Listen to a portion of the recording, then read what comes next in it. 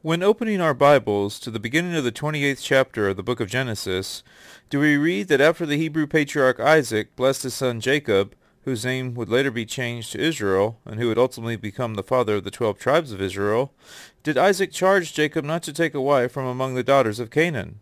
Instead, Isaac instructed Jacob to arise and go to Padan Aram, to the house of Bethuel, the grandfather of Jacob, on his mother's side, and to take a wife for himself from among the daughters of Laban, Jacob's uncle, his mother's brother. Jacob obeyed his father and his mother, and then went out on his journey unto Padan Aram.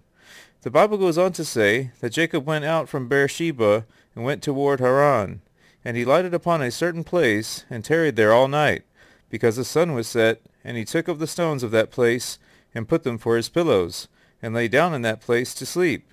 And he dreamed, and behold, a ladder set upon the earth, and the top of it reached to heaven.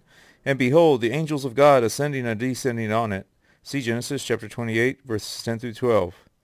Now even though this angelic vision is written in the Old Testament, the imagery of angels ascending and descending is expressed once more in the Holy Scriptures, but this time in the New Testament.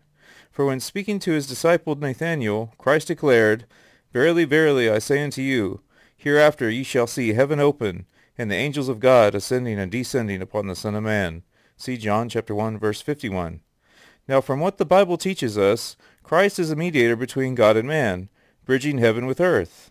Continuing on this trail of thought, it would also appear that the person of Jesus Christ is indeed the physical manifestation of the vision known as Jacob's ladder, and quite possibly even its prophetic fulfillment.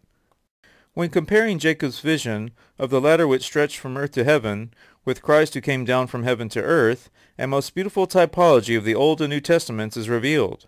For when Jacob awoke out of his sleep, he said, Surely the Lord is in this place. And he was afraid and said, How dreadful is this place! This is none other but the house of God, and this is the gate of heaven. See Genesis chapter 28, verses 16 through 17.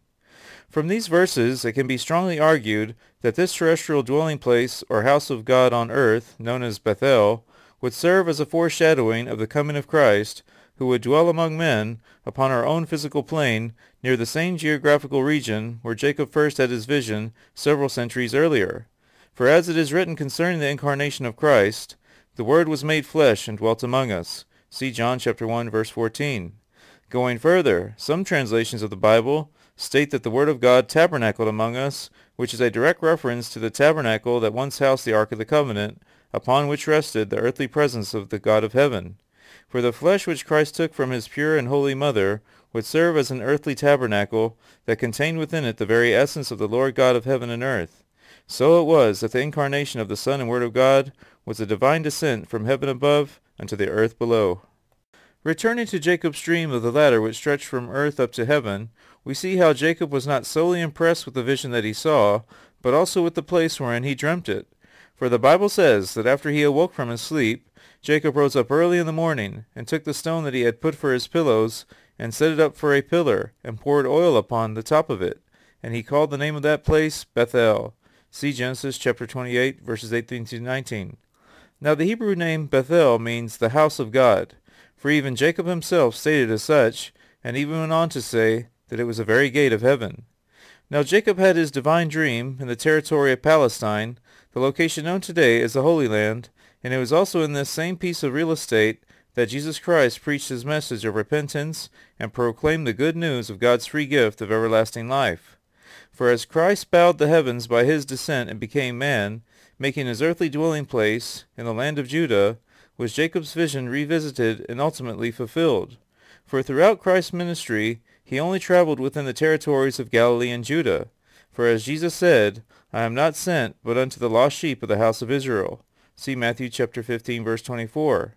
For it was the plan of the Messiah to get his own house in order first, before he sent out his disciples into all the earth to preach the gospel. For in the era of the New Testament, Jacob's ladder would be replaced with the fisherman's net, drawing many men from all nations into the house of God.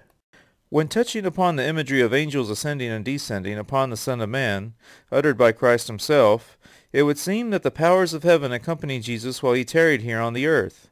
Evidence of an angelic presence surrounding Christ is found within the Gospels. For after Jesus was tempted by the devil, the Bible says that angels came and ministered unto him. See Matthew chapter 4 verse 11.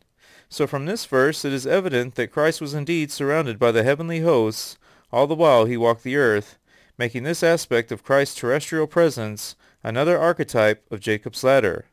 Additionally, Christ was not simply ministered to by angels, but had the power to command the angelic ranks to defend him and fight against his enemies at will. An example of this is found when the Savior was betrayed by Judas. For when Jesus was being arrested, Peter started to fight them off, but Christ admonished him by saying how, if he so desired, he could pray to the Father and be given more than twelve legions of angels to come and fight against his enemies. See Matthew chapter 26, verse 53. So from these passages taken from the New Testament, the magnitude of Jacob's Old Testament vision is made even more profound.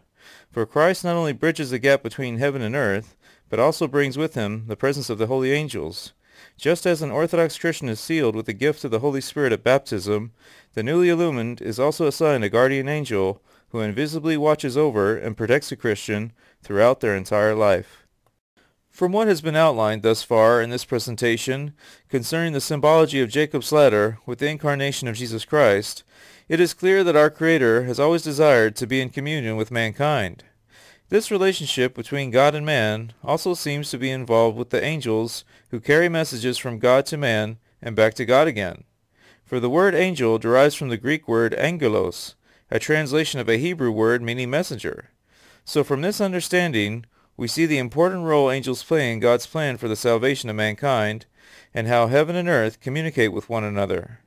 It is the power of prayer which keeps this relationship alive, for by communing with Christ, man experiences the grace of God and ultimately achieves the salvation of his soul. Christ came down to lift us up. The Orthodox Church even teaches that God became a man so that man could become a God. Going further, the monastics of the Church, who have taken up the angelic habit, will one day replace the seat that Lucifer lost when he fell from grace. Thus many men and women in the age to come will be included within the ranks of the heavenly hosts, and may even experience the holiness of angelic purity beginning in this life. So as believers who are seriously seeking our salvation, may we all cling to Christ as we zealously attempt to climb the ladder of divine ascent. This is the leap of faith.